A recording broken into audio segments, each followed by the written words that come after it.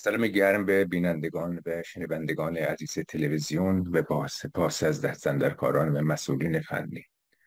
هرچند بامشات هستم با برنامه دیگر از رویدادهای سیاسی هفته. هفته ای که گذشت خب هفته قبل از اینکه به این هفته بپردازیم ما هشت مارس رو داشتیم روز جهانی زن که دیروز روز جهانی زن بود. روز جهانی زن خب برای ما ایرانیان به خصوص امسال روز بسیار فرخنده است به خصوص که جنبش زن زندگی آزادی جنبشی است که انقلاب زنانه را در جهان رقم زد. این روز رو به همه تبریک میگم و به همه عزیزانم خوش آمد میگم. با یاد جانباختگان راه آزادی و زن زندگی آزادی و به یاد عزیزانی که در این راه چشمانشون را از دست دادن به زندان افتادن. یاد همشون رو گرامی میداریم. به امید رهایی و انقلاب زنانی ایران. زن زندگی آزادی.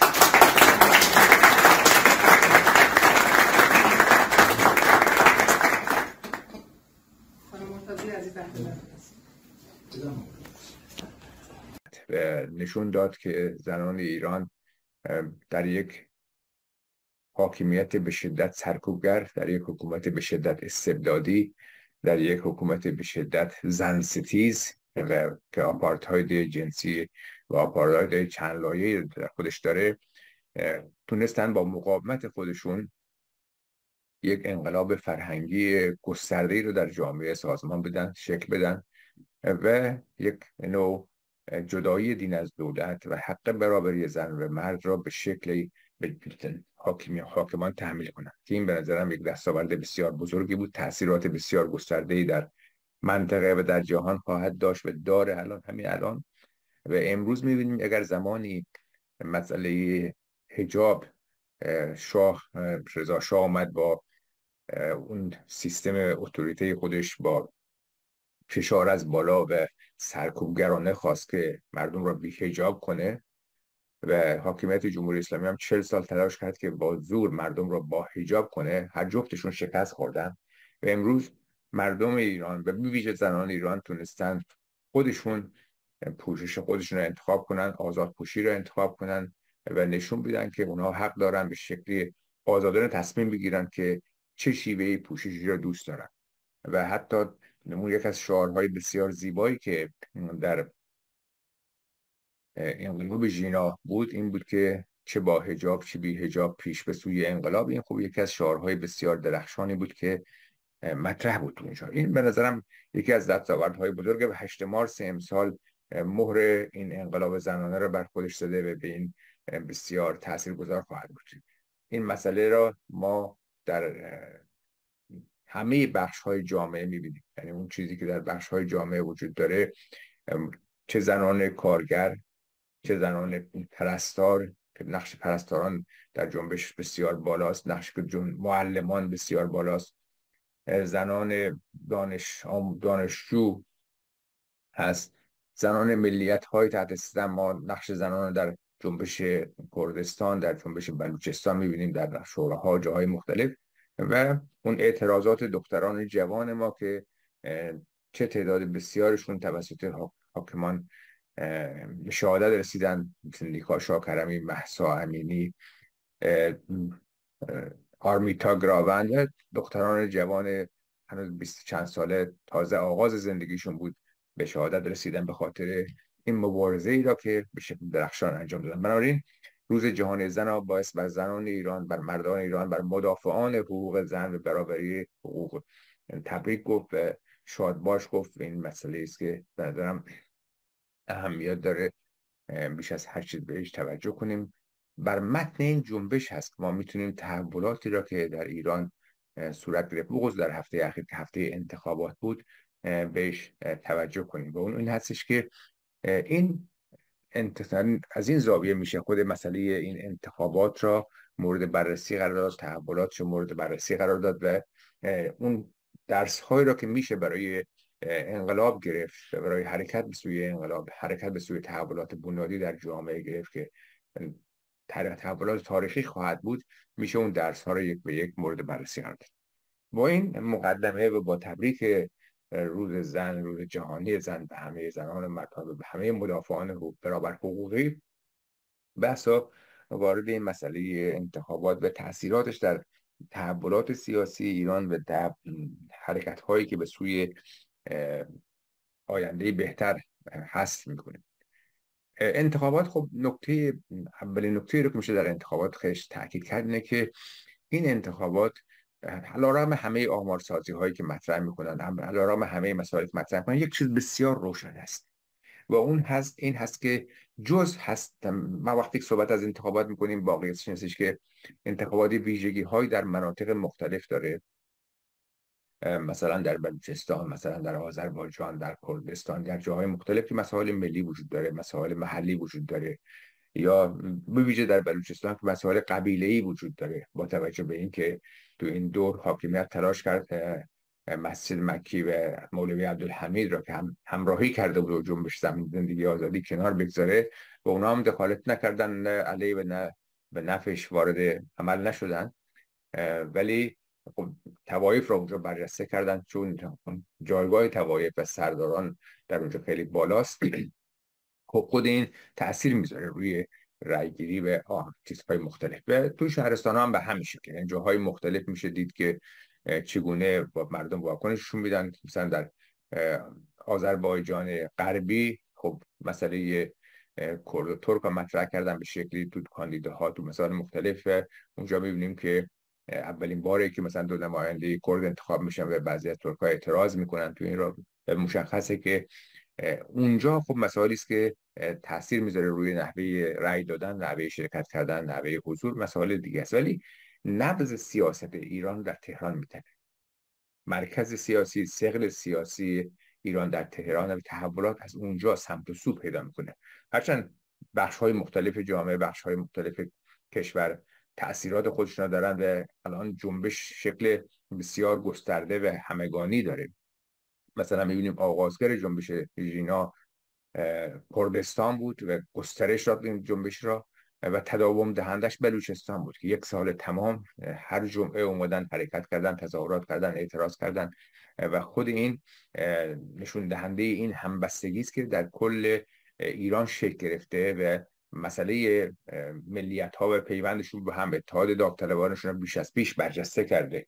به اون نکته است که حتی در مسائل این سیل ویرانگری هم که تو بلوچستان اومد دیدیم که همبستگی ها به چه شکل گسترده بود. هم همبستگی که تو خود بلوچستان انجام گرفت و همبستگی که مردم کرد در شهرهای کردستان مریوان جوان رود مهاباد جاهای مختلف کمک جمع کردن به طور وسیع فرستادن. هم حمایتی که شورای هماهنگی تشکل‌های سنفی معلمان و تشکل‌های سنفی مناطق مختلف انجام دادن در این حمایت نشون دهنده این همبستگی بالایی است که در این می‌تونیم شاهدش باشیم و شاهدش هستیم و می‌بینیم. ولی با این حال با همه این تفاصیل قطب سیاسی ایران مرکز سیاسی ایران مرکزی که تحولات را جهت میده تهران است و ما اگر تهران رو بیان بررسی کنیم می‌بینیم که در تهران جز اقلیت بسیار فناتیک بسیار بنیادگرا و سازمان یافته و ایدئولوژیک هیچ کسی دیگه رأی نداد.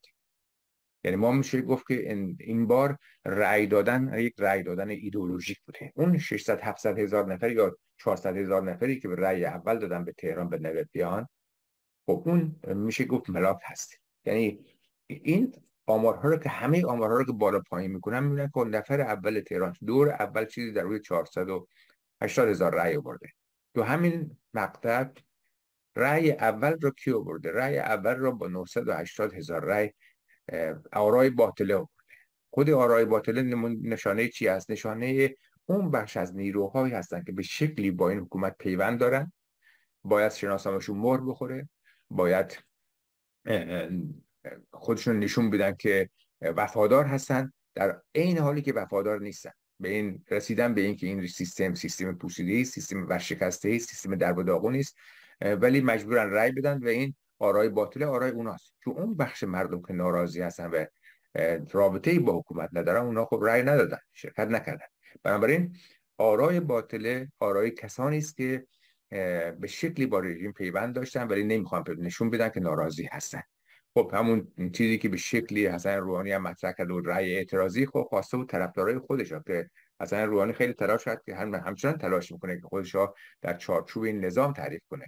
برخلاف خاتمی که این بار رأی نداد و اعلام کرد که من رأی ندادم برای اینکه نخوام کسی را دروغ بگم به کسی. خب نشون میده که یک بخشی دیگه کاملا سرخورده شدن جدا شدن و اون بخش اصلاح طالبان به رهبری خاتمی هست و خب موسوی و تاجزاده و اینا هم که قبلا خط خودشون روشن کردم و تاجزاده در زندان اعلام کرده بود که من نیستم. ولی روحانی مطرح کرده بود که برین رأی اعتراضی بدین که نمی‌خواست. هنوز نمی‌خواد. بندهای خودش رو پاره کنه در حالی که به بیرون پرتاب شده تو این رابطه. بنابراین آرای باطله رو میشه گفت آرای این تیپ ها هست. آرای تیپ هایی که به شکلی هنوز منافعی دارن و این منافع را نمی‌خواهند دست بدن و ولی به آینده این رژیم اعتماد ندارن اعتقاد ندارن یا هنوز به این نتیجه رسیدن که این رژیم ممکنه به همین شکل بمونه و اینا دستشون به جای بند نباشه. بنابراین بازی دو گانه ای می‌کنن. بازی که از یک طرف رای میدن و از یک طرف روی کاغذشون چیزهای دیگه ای می‌نویسن. و این به نظرم یک نکته مهم است. خب آرای اول تهران آرای باطل است. آرای 450 60 هزار نفری که نبویان اولین نفر اول آورده حد اکثر رئیس که اینا تونستن در تهران ده میلیونی که 8 میلیون و 700 هزار نفر حق رأی داشتن به دست بیارن. بنابراین ما با یک ورشکستگی بسیار روشن رو رو هستیم. ورشکستگی که نشون میده این حاکمیت دیگه به بنبست رسیده. هرچند انتخابات در جمهوری اسلامی در حاکمیت ولایت فقیه هم به لحاظ قانونی هم به لحاظ شکلی یک پوششی است. بسیار مزورانه برای یک استبداد به شدت خشن. این به نظرم نکته بسیار مهمی هست که بهش توجه کنید. یعنی اگر تو دورهای گذشته این پوشش بازی می‌کرد و خودش نشون می‌داد یا تاثیر گذاشت حالا اینا این قضیه کاملا روشنه که مردم به شدت مخالف هستن. یعنی غیر از اون 5 درصدی که رفتن رأی دادن به کاندیداهایی که مورد نظر شورای نگهبان بوده مورد نظر بیت رهبری بوده و اونا حمایت کردن ازش چرا که این شورای نگهبان از قبل تصفیه می‌کنه. مردم حق انتخاب کردن دارن ولی حق انتخاب شدن آزادانه ندارن. اونا شورای نگهبان در رأسش هم یه پیرمردی است که حتی موقع رای دادن فیلمش منتشر شد. این آدم هنوز نمی‌تونه تشخیص بده که کجا باید رأی خودش بندازه و در تصمیم می‌گیره در مورد مردم که چه, چه کسی رای بدن چه کسی ندن. نشون میده خب یک مترسک اونجا. یک آدمی است که از طرف خامنه ای گذاشته شده به دیگران خط خودش پیش برن اینم اونجا به اسم اسمش اونجا هست. وگرنه آدمی که نمی‌تونه حتی موقع انداختن رأی خودش به صندوق تشخیص بده کدوم رأی رو کجا بندازه. این مال کجا؟ مال مجلس خبرگان کجا؟ مال مجلس شورای اسلامی. نشون میده که صلاحیت نداره به این آدم نمی‌تونه خودش جمع کنه. ولی رئیس شورای نگهبان با نظارت استصوابی هستش. بنابراین این نکته نشون میده که حاکمیت براش انتخابات یک کوششی هست برای نشون دادن دموکراسی. نکته دیگه هست انتخابات در جمهوری اسلامی ابزاری است به دست ولایت فقیه چون روشنه که نمی‌ذارن جناهایی که غیر حکومتی باشن التزام نداشته باشن و به قانون اساسی یا به التزام عملی ولی فقیه نداشته باشن نمی‌تونن توی کاندید بشن بنابراین انتخابات انتخاب در میان طرفداران ولایت فقیه هستش. خب پس اینجا کارکرد دوم انتخابات یعنی یک طرف پوششی سرش پوشی است برای استبداد خشن. نکته دوم پوششی است برای تصویه کردن نیروهایی که رهبر تو هر دوره سعی می‌کنه اونا را بالا بکشه یا کنار بذاره یا به هر شکلی. ما اگر به دوره حکومت 27 ساله خامنه ای نگاه کنیم. خامنه ای یک مستبد بسیار بیرحمی است که به شکل بسیار سازمان یافته ای سعی می‌کنه که از نیروها به نفع خودش برای زدن دیگران استفاده کنه و خط خودش پیش بره خطش هم خط بسیار روشن است. اون یک آدم سلفیست هست که نظرات سید قطب سید قطب سلفی مصری را داره. اعتقاد داره به اجرای فقه به شکل سنتی به شکل عقب موندهش یا بنیادگرایانش و نظراتش خب بعدا خب خیلی روشن مطرح هر چند زمانی خودش مقلد منتظری می‌دونست ولی وقتی که میاد میگه نظرات مسوا را قبول داره خب مسوا به طور روشن گفته که نظراتش خیلی مطرح کرده که مردم هیچ حقی ندارن حاکم برگزیده خداست اون تصمیم می‌گیره. و اون حتی انتخابات رو مسخره می‌کرده الان طرفدارای اون به قدرت رسیدن که همسو هستن با خط خامنه‌ای. ولی سیاست خامنه‌ای رو که بررسی می‌کنیم تو این سی سال می‌بینیم که به شکل بسیار هنرمندانه ای تلاش کرده که مخالفین خودش نیروهایی که به شکلی در جلوش هستن در صد راش هستن اینا رو کنار بذاره و خط خودش رو اونطور که می‌خواد پیش ببره و امروز رسیده به اون جایی که تو اون برنامه که دو سال پیش مطرح کرد و اعلام کرد که می‌خواد گام دوم انقلاب اسلامی را به پیش ببره. گام دوم انقلاب اسلامی را از این طریق به پیش برده که بیاد جوانان انقلابی اون کسایی که مریدش هستن و حرفاشو گوش میدن و جز اون دیگه نمی‌تونن بزنن.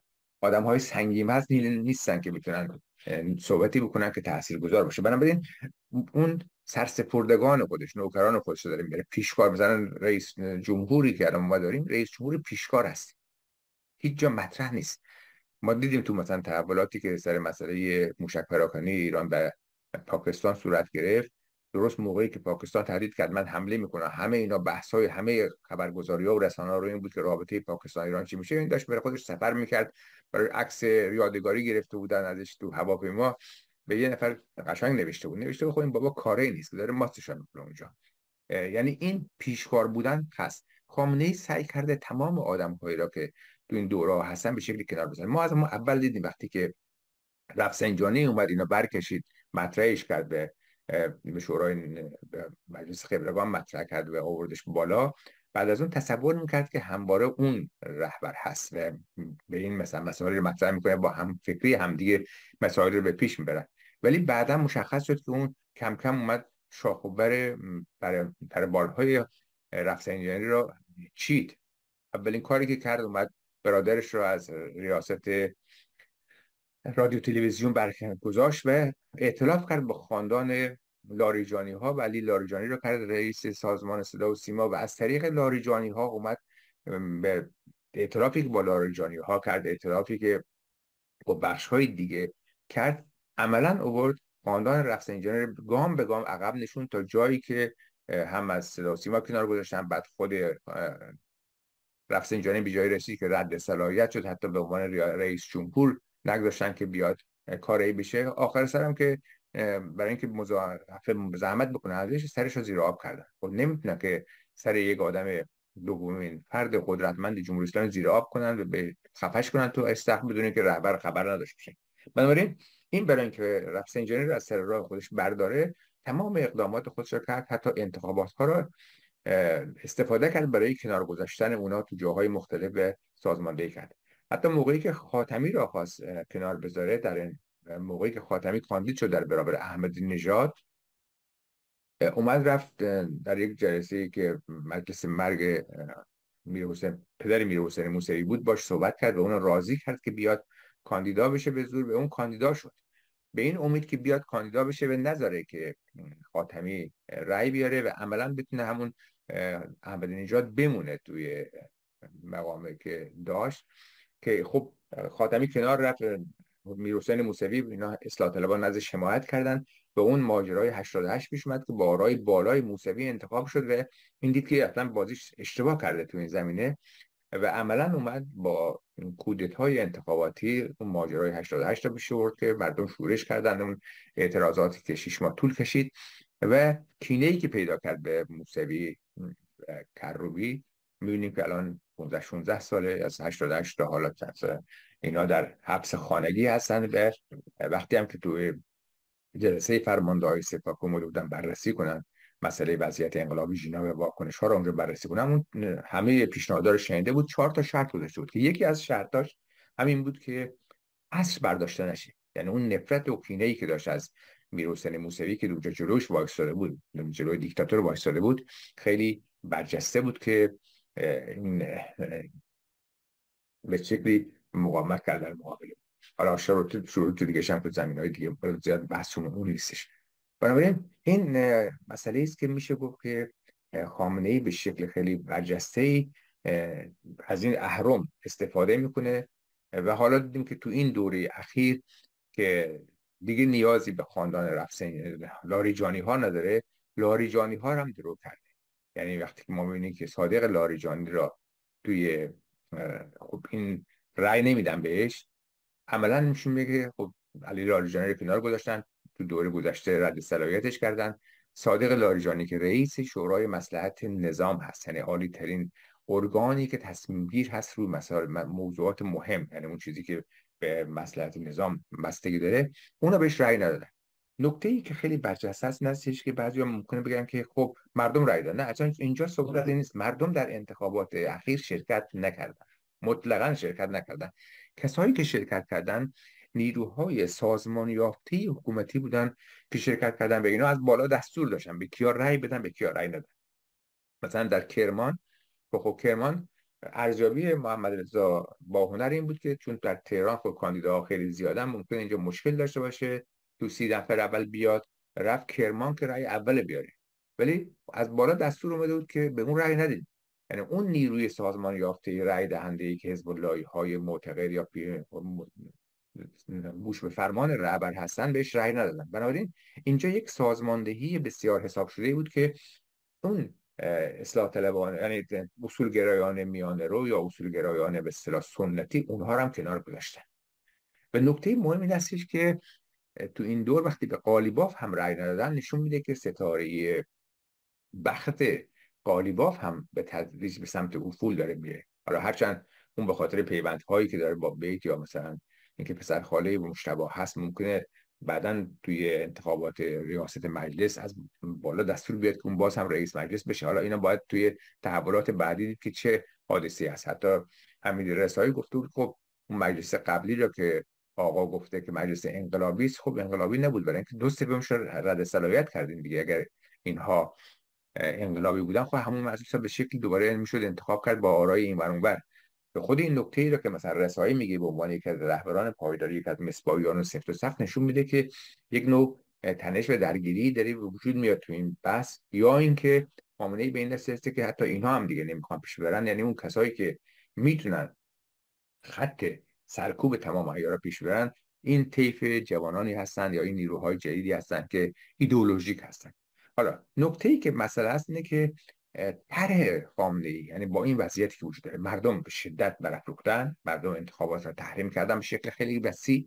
حتی در درون نیروهای وابسته به نظام و که منتفع میشن از نظام هم با آرای باطل شهرستان های مختلف مثلا توی یزد توی تهران توی قزوین توی جاهای مختلف نشون میده. این آرای باطل اینقدر بالاست که نشون میده ناراض نارضایتی تو تیپ هایی که وابسته به رژیم هم هستن خیلی بالاست. خب این وضعیت را می‌بینیم. این سوال مطرح میشه که طرح حاکمیت برای مقابله با این جنبش نارضایتی گسترده چی هست؟ این اون سوالی است که بایستی بهش پرداخت. یعنی مسئله بررسی انتخابات دارن که تاثیر بذارن توی سیاست های حکومت از طریق مجلس. از جای این به نظرم بحث منطقی چرا مجلس کاری نیست؟ حالا مجلس هم مجلس پیشکار شده. ما دیدیم مجلس ششم که سعی کرد که یک کم در مقابل خامنه ای وایسته اومد رسما بهش دستور داد که مثلا لایحه مطبوعات رو بذارین کنار. کروبی اومد مطرح کرد که حکم حکومتی اومده. این لایحه رو در دستور خارج می‌کنیم.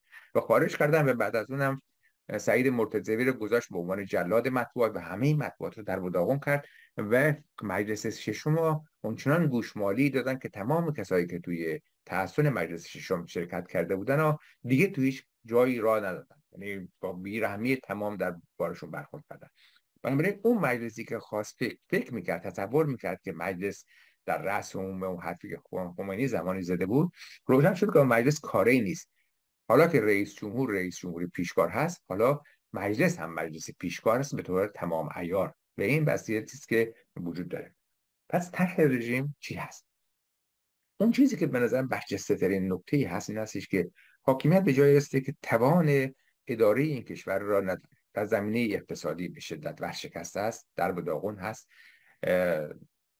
وضعیت حکومت به شکلی هست که حتی در مناسبات سرمایه جهانی هم ارزیابی ها این است که این حکومت مخل این نظم است. هرچند یک رژیم سرمایه‌داری است مدافع سرمایه‌داری است ولی مخل. مخل به این مفهوم که یک طیفی اومدن که اینا حتی در اونجا قواعد عادی سرمایه هم رعایت نمی‌کنن. حتی به اون بخش هایی که سرمایه را کار می‌کنن و سرمایه را هدایت می‌کنن یا بخش های خصوصی اونا رو ابقا نمی‌کنن. می‌بینیم که الان شروع کردن پرونده سازی برای دیجیکالا.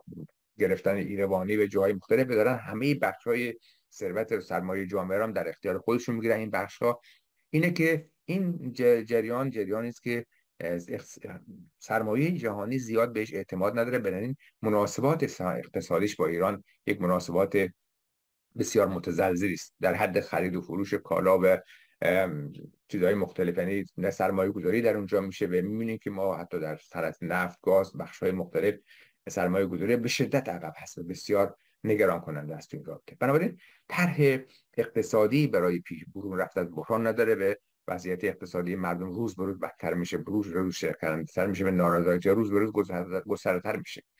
در زمینه سیاست فرهنگی می‌بینیم به شدت خشن هست. می‌بینیم که تمام سینماگران رو کنار گذاشته و سعی کرده سینماگران حزب اللهی رو بیاره.